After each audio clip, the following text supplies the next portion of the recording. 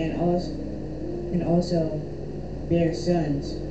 Would would ye tarry them for them till they were grown? Would ye stay for them from having husbands? Nay, my daughters, for it grieveth me much for your sakes, that the hand of the Lord is gone out against me.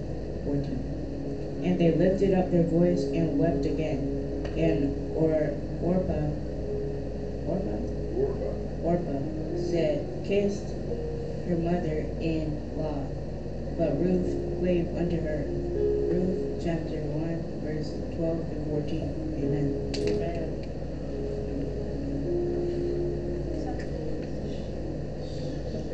We will now have our prayer by Deacon-elect Jamal Roberts. Good morning, church. Good morning. Everybody pray with me. Please bow your heads.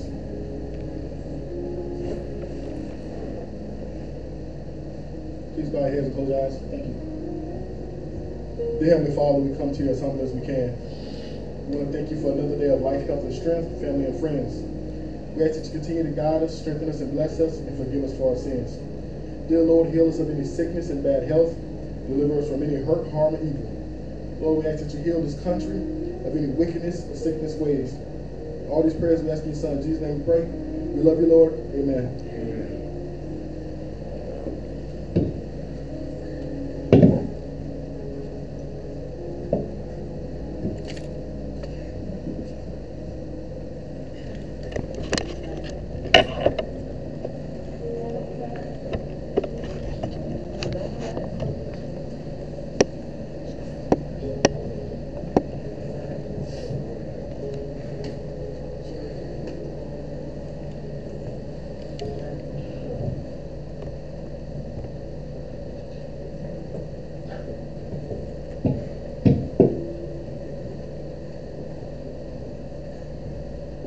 how to reach the masses, men of every nation, for an answer.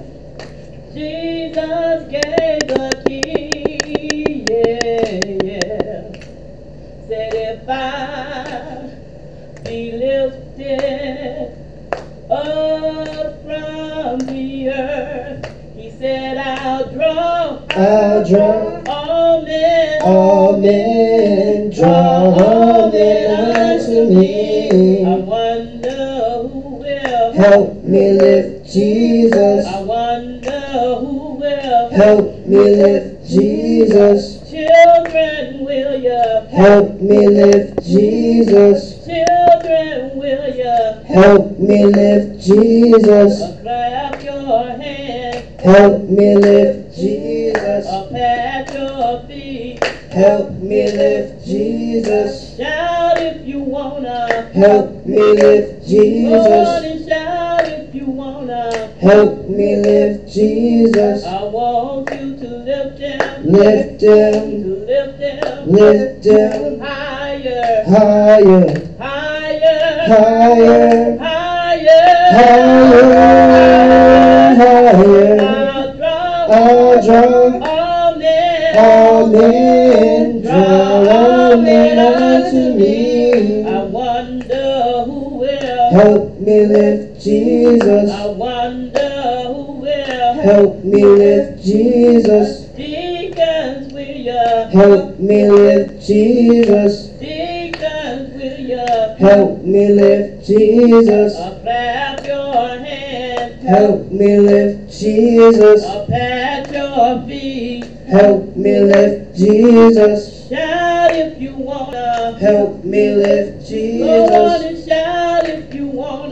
Help me lift Jesus. I want you to lift him, Lift him, to lift him lift him higher, higher, higher, higher, higher, higher, higher. I'll draw I'll draw all men, all men, draw all men unto me. I wonder who will, Help me lift Jesus. I wonder who will, Help me lift Jesus. Preachers, will ya? Help me lift Jesus. Preachers, will ya? Help me lift Jesus. Uh, clap your hands. Help me lift Jesus. Uh, pat your feet. Help me lift Jesus. Shout if you wanna. Help me lift Jesus. shout if you wanna. Help me lift Jesus. I want lift him. Lift him, To lift him. lift him Higher. higher, Higher. higher, Higher. higher, higher. I'll draw all men. all men, draw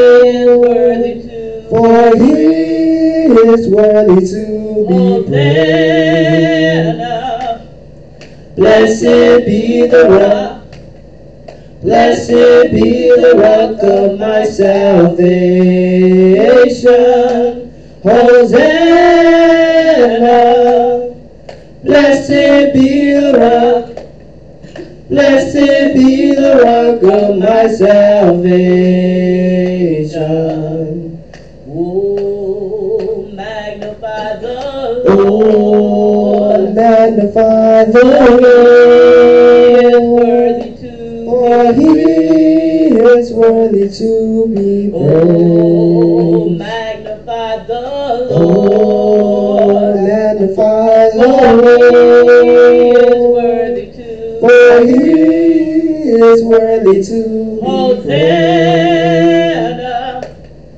Blessed be the rock. Blessed be the rock of my salvation. Hosanna.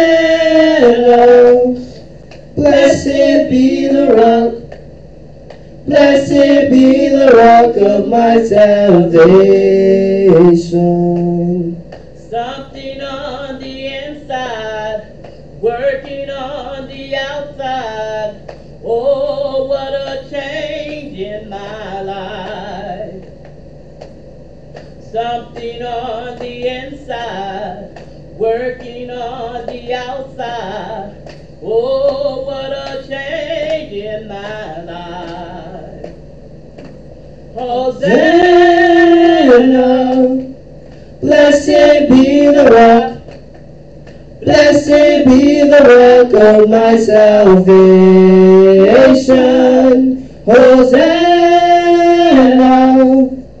Blessed be the rock.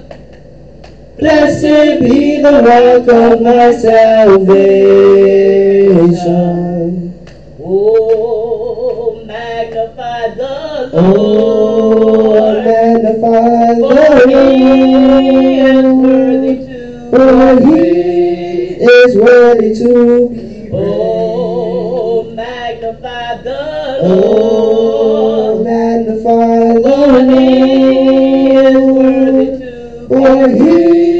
Is worthy to be oh, praised.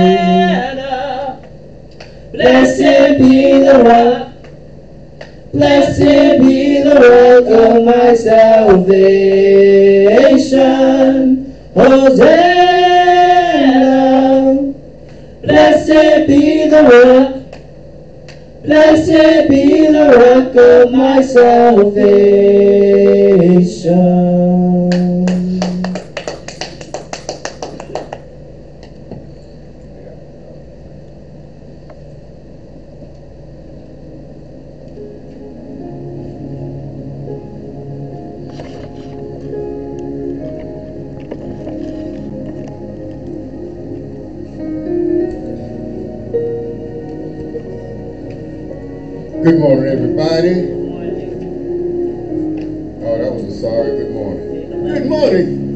Morning. This is the day that the Lord has made, and let us be glad, let us rejoice in it.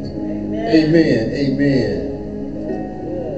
God is good all the time, and all the time, God is good. Uh, some of y'all might still be suffering from post-election depression, but I'm just here to tell you that God is still good. Yes, it is. And, and uh, you know, regardless of how things worked out, we still here. Amen. There ain't been no apocalyptic occurrences. We still here.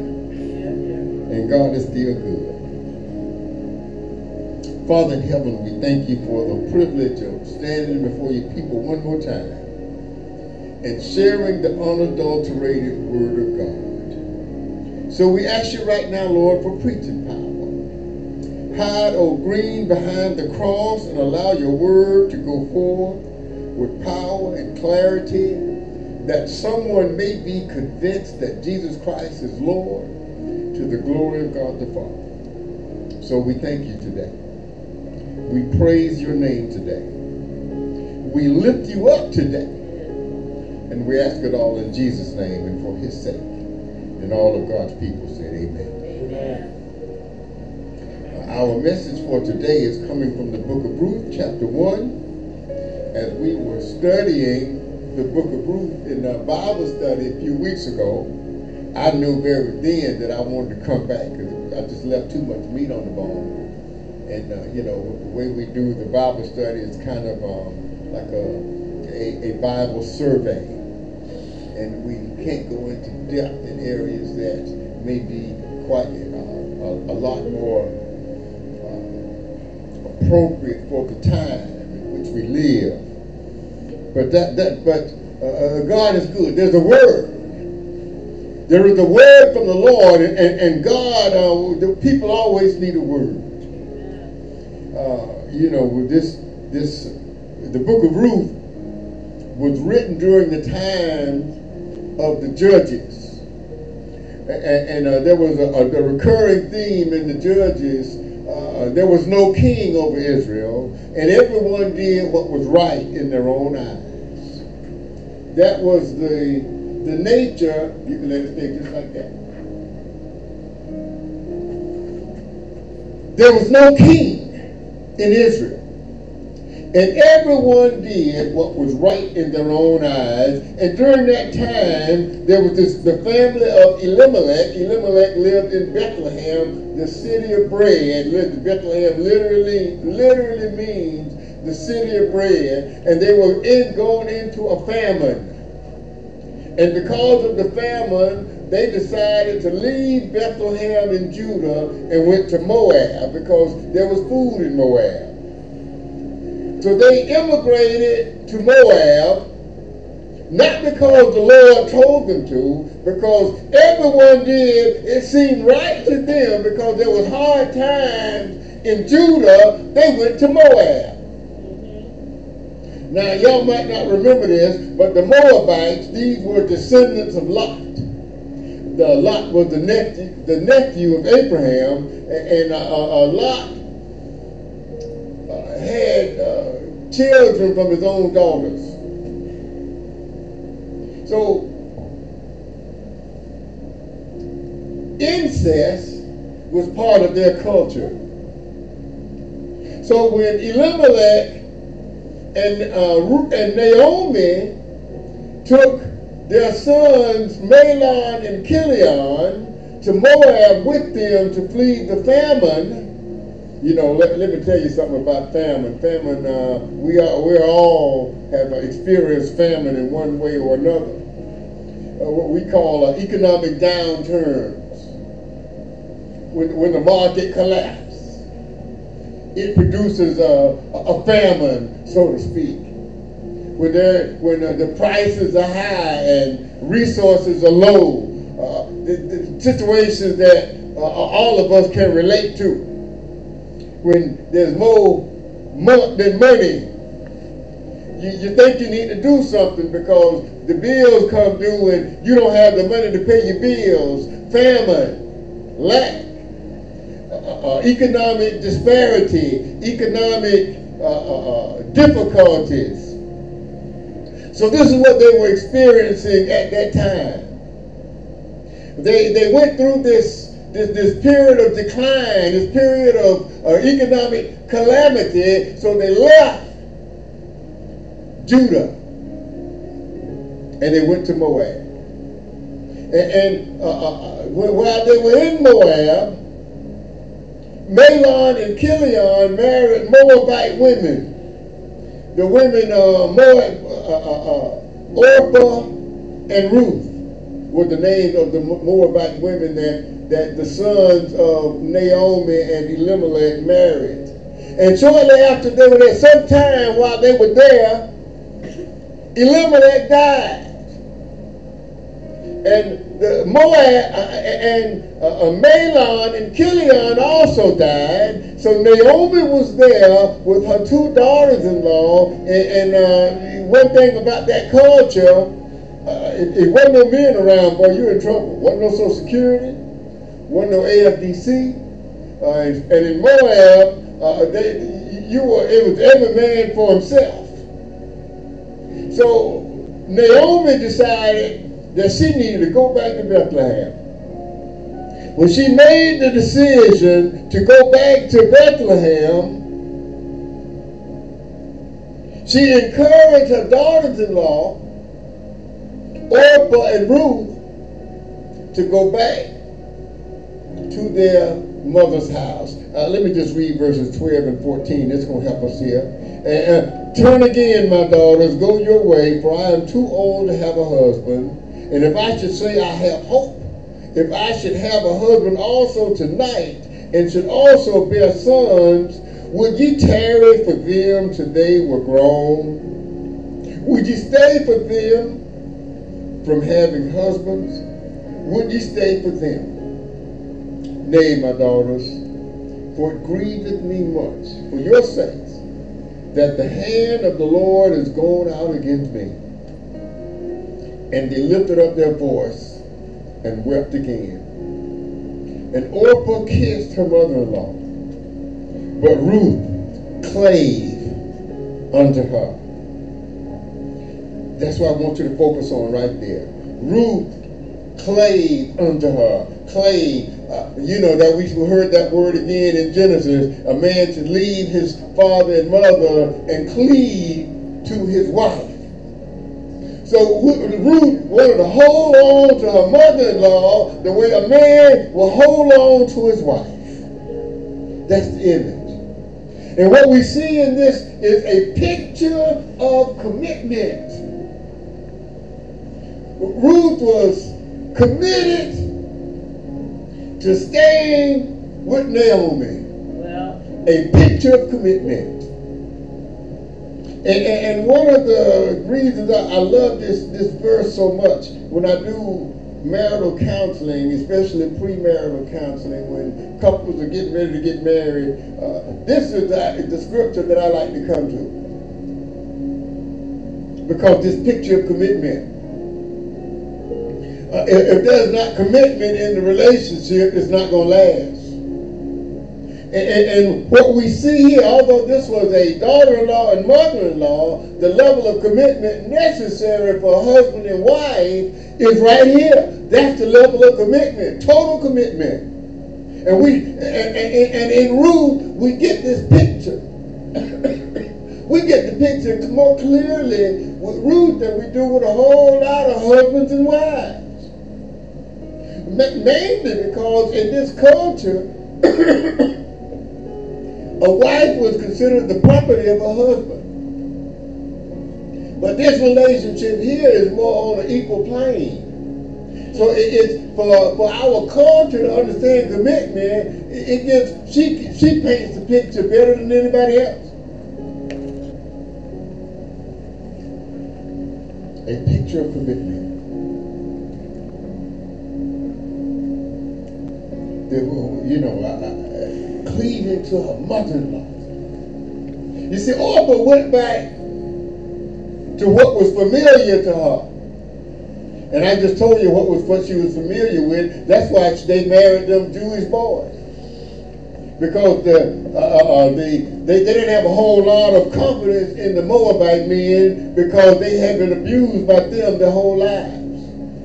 See, Moabite women would be subject to their own brothers wanting to mess with them. They'd be subject to their own fathers wanting to mess with them. They, uh, you're talking about just living in a toxic environment. So when those Jewish young Jewish men and these uh, uh, well, Jewish men went these, these two, uh, Mahlon and Chilion, they were not the cream of the crop.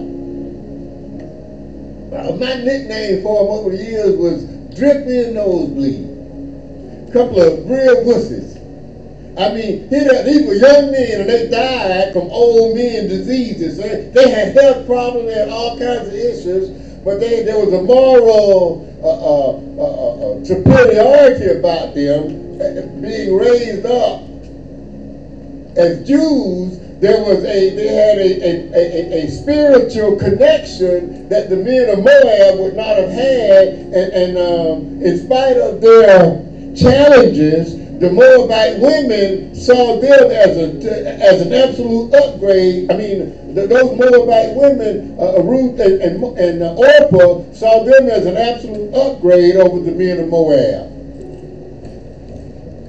Uh, they knew how they were going to be treated by the men of Moab. They knew how they had been treated. But Orpah chose to go back to that. She went back to what was familiar to her.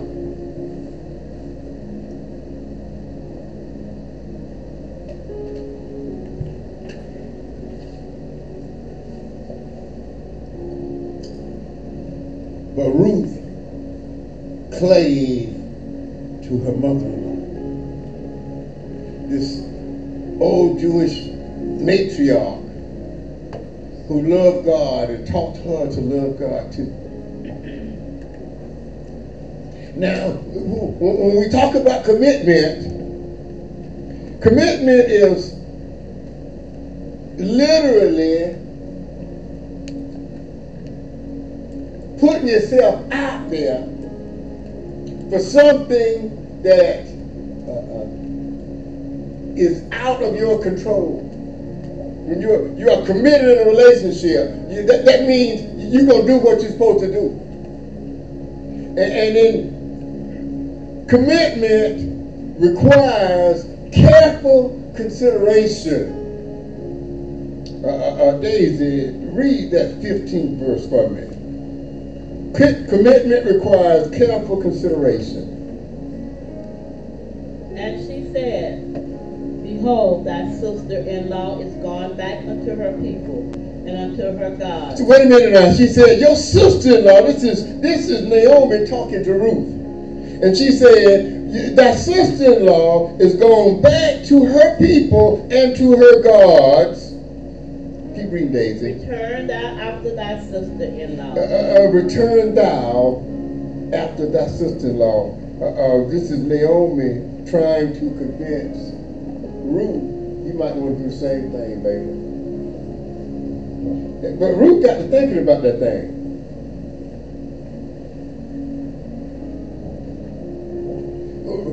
Ruth got to thinking about it.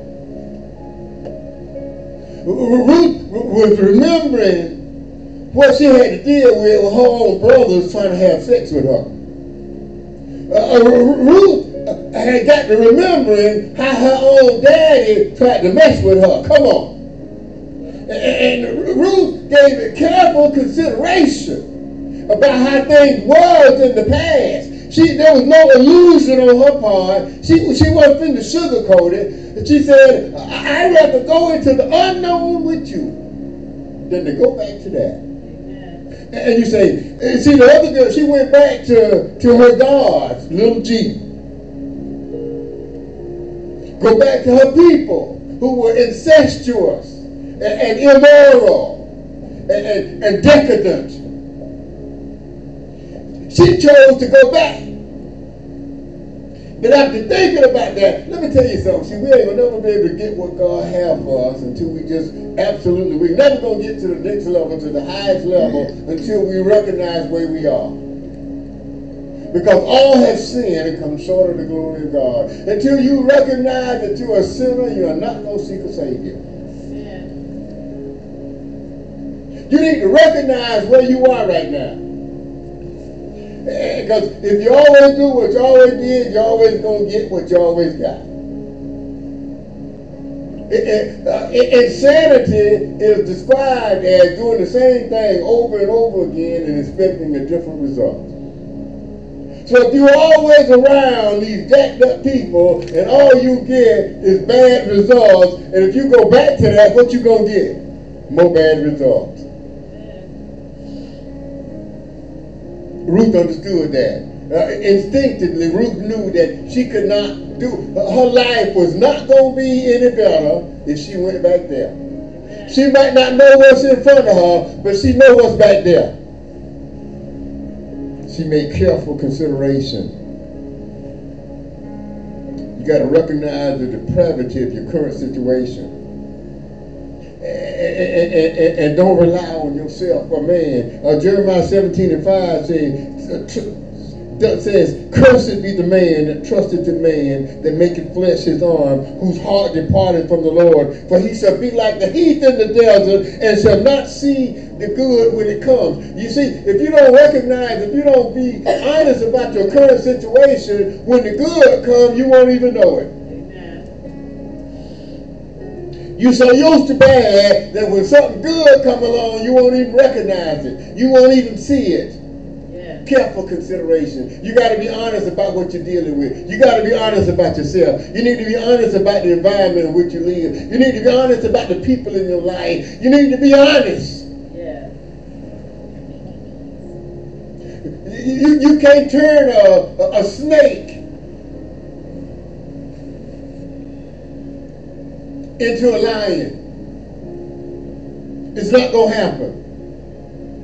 If somebody has totally no character and you insist on uh, uh, being with them, you can expect what comes when you're dealing with somebody with no character. Yeah. Careful consideration. But commitment requires a made up mind. Daisy, read that next verse. Read verse 16 for me. Commitment requires a made up mind. Check this out. And Ruth said, Entreat me not to leave thee, or to return from following after thee. For whether thou goest, I will go. She said, wait a minute. She, she said, please don't don't don't don't uh, don't even make me leave you. Or, or make me not want to follow after you. Keep reading, Daisy.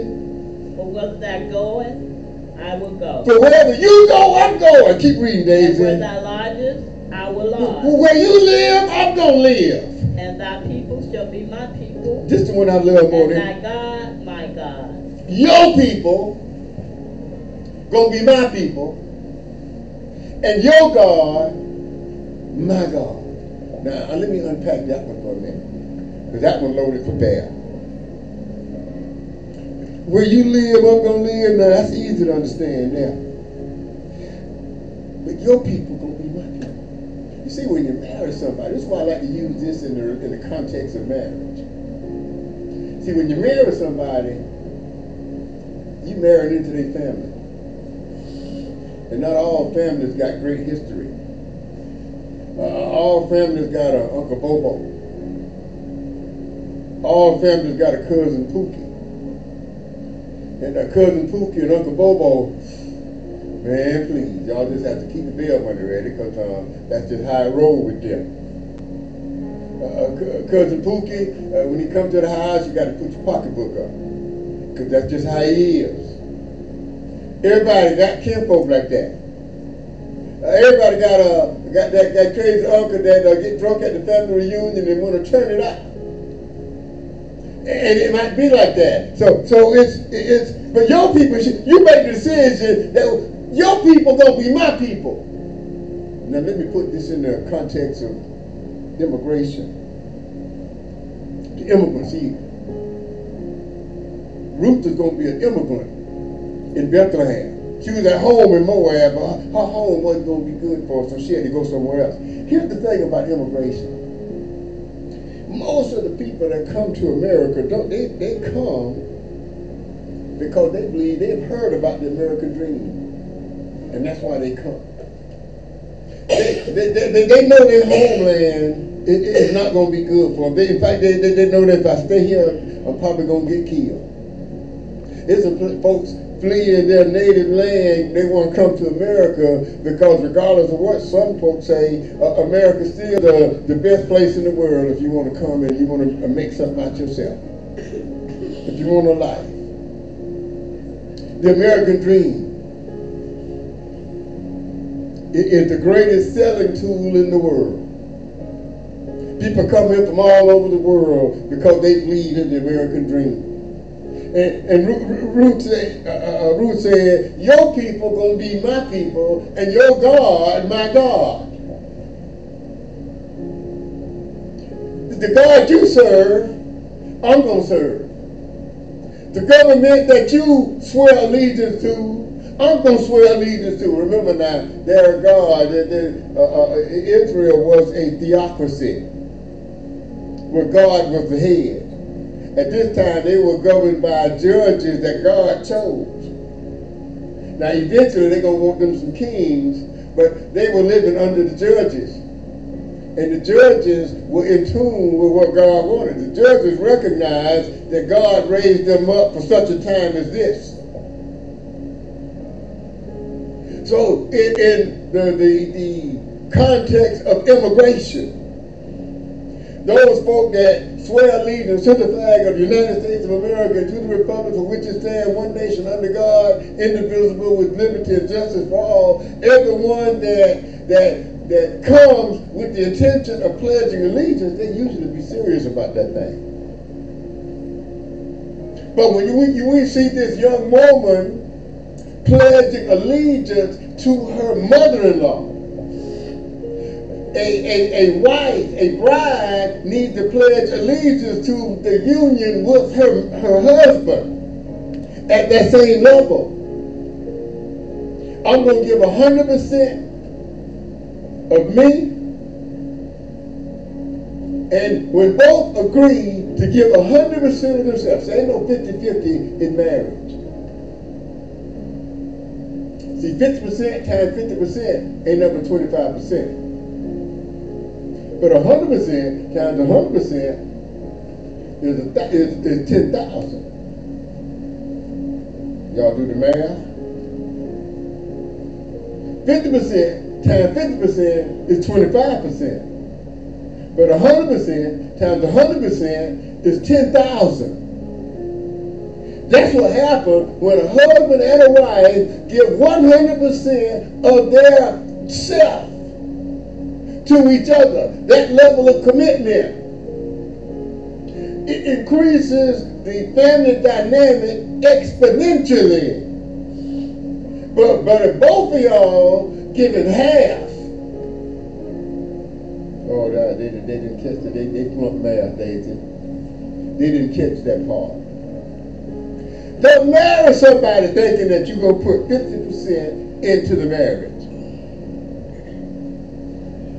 Don't marry somebody thinking that if I put 50% in and they put 50% in, we got 100%. It don't work that way. Well, That's like riding around on a car and but one tire got air in it. Commitment. That's why I love this book so much. It teaches us what true commitment looks like. Because most of us just we can't understand. We, we don't know what it's going to take. Well, I'm here to tell you, it takes all of you.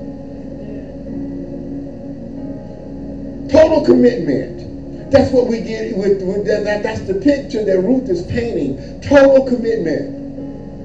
It works like that in marriage. It works like that in community. It works like that in government. Where everybody is committed 100%. You're not worried about what you can get out of it. As, as John Kennedy once said, ask not what your country can do for you, but ask what you can do for your country. 100%. When everybody give 100% of whatever God has instilled in you, whatever God has gifted you with, if you give it 100%, same word, it work the same way in the church. when everybody give 100% of their talent, 100% of their time, you gotta do you gotta do what you're supposed to do. But give all of you, surrender it all. That's what surrendering to Christ means. So every time we we have the end of every service, every preacher, if you're doing the job right, is going to extend an invitation to Christian discipleship. And what we ask at that time is for people to consider where they are. If you if you died right now, would you go to heaven or hell? Consider where you are. Have you received Jesus Christ as your Lord and Savior? And if the answer to that is no, if, if, that's what you want, you want to stay that way, then don't make a decision. Your decision is already made. But if you want to go to heaven, you need to come to Jesus. And, and, it requires a made up mind. You got to make a decision. Are you going to be committed to Christ? 100%. And, and, and we look at this next verse, you got to be willing to live with the consequences. Uh, Daisy, pick me up right there, that 17th verse. Where thou diest, will I die, and there will I be buried. She said, where you die, that's where I'm going to die. Where you get buried, that's where I'm going to get buried. Keep reading, Daisy. The Lord do so to me, and more also, aught but death part thee and me. The Lord do so to me, and more also, if anything other than death part us. Now, when you get married, that needs to be your mindset. I, I, I was uh, asked by a friend of mine the other day. Said, man, how, how you been able to stay? He done went through a couple of wives, and he had problems with the third wife. He said, how you been managed to stay married all these years the same woman? I, I remember when uh, one of my friends had uh, mama died, and they had, um, you know, they just informed me. And uh, when I got to talking with uh, one of uh, my friend's sisters, she said, uh, uh, and uh, she said, "You still married to the same woman?" Still about four, or five men in the same amount of time.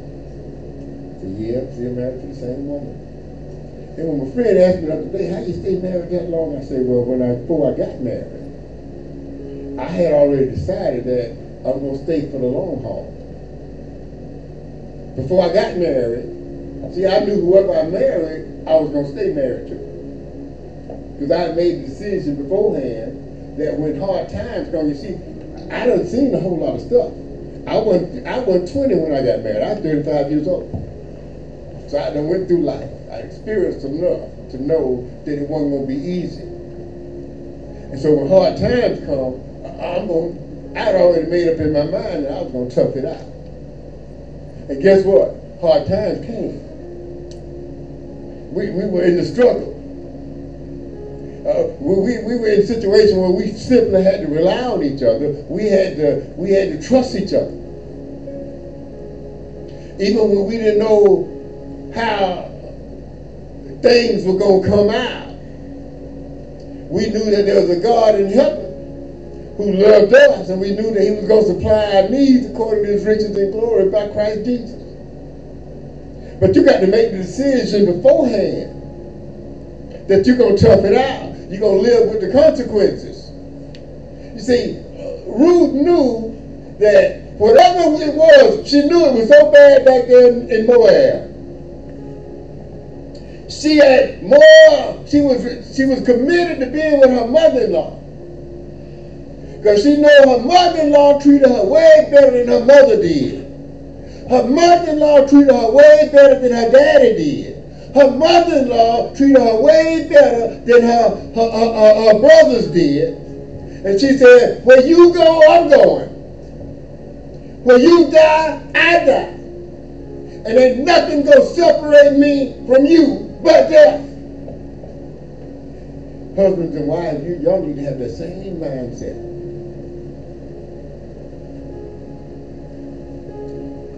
Y'all need to have the same mindset. going into a marriage. Like the first sign of trouble is not your out. The first sign of trouble is when you need to get on your knees and say, Lord, help us.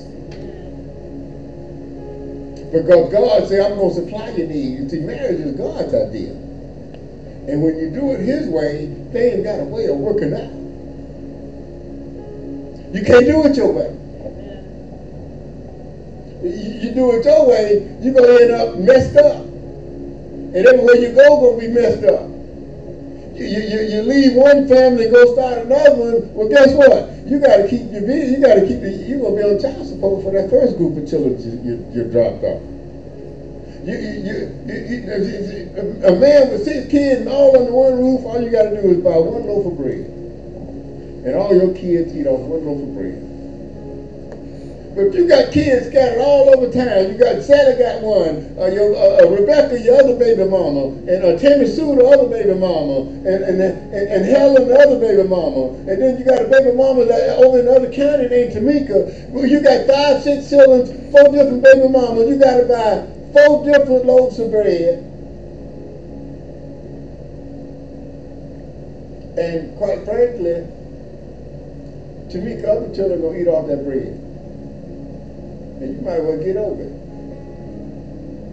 Uh, you, you come by baby house and that outfit that you bought little Johnny, the other baby wearing it. You need to get over it. See, if you bought that at your house with your kid, your hand-me-down go to one of your other children. Commitment. You see, when you do things according to your own devices, see, the Proverbs tell us to, to trust in the Lord with all our heart and lean not into our own understanding. With, uh, in all our ways, acknowledge Him, and He shall direct our path. When we, when we allow the Word of God to dictate what we do, then that, that level of commitment that I'm talking about, you'll be able to do. It makes sense to you. When it's time to, to make these careful considerations, when your considerations are based on the Word of God and not the uh, and not the mores of man.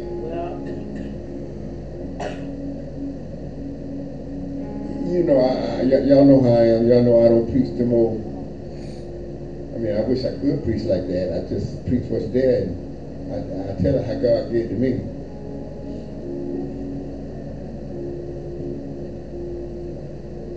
She said, if the Lord do, do so to me, if anything other than death parts, we're talking permanent stability, no turning back,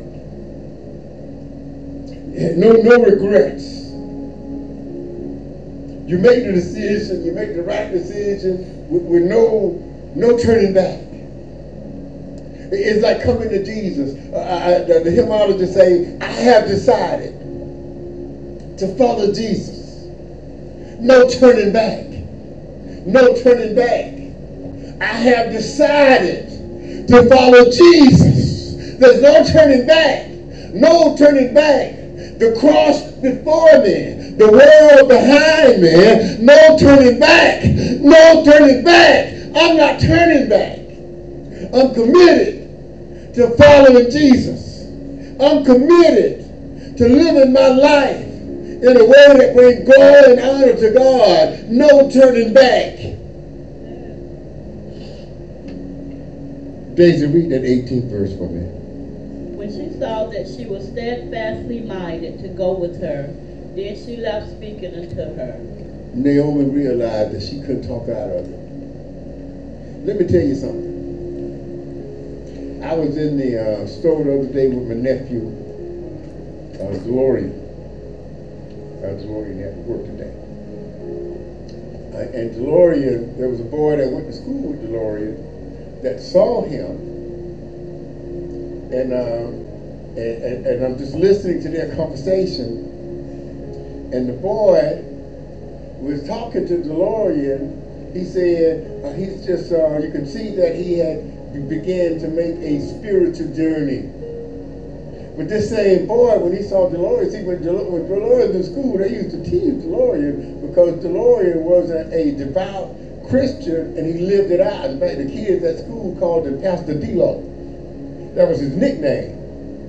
And, the children recognized that he was a young man walking with the Lord, and that was the influence that he had on his peers. They saw him and they called him Pastor D-Lo. Come on in. They saw it. And they recognized God's anointing on his life. And it made an impact. He, I don't even think he realized it at the time. And I told him that's what was going to happen. And that young man saw him yesterday. And he, he you can, and I don't know if he was just faking it or what, but he seemed sincere to me. But he saw that he wanted DeLorean to know that he was walking with the Lord. This is the same one that used to give him a hard time when he was in school. You see, let me tell you something. When people know that you committed to the Lord, they're going to quit messing with you. They're going to quit talking about you. Because they're going to wish that they had what you got. The only reason they were messing with you in the first place is because they, they know what the, the scriptures say. They, they know that their life a mess. They anticipate it's going to get worse. And they know ultimately they're going to end up in hell. And they're mad at you because they know you got a better future. They're mad at you because they, you got a destiny that they can't, they could only imagine. They mad at you, they teasing at you because uh, you, you have a, a place in heaven that they don't have. So they mad, they're angry, they, they, they treat you they, with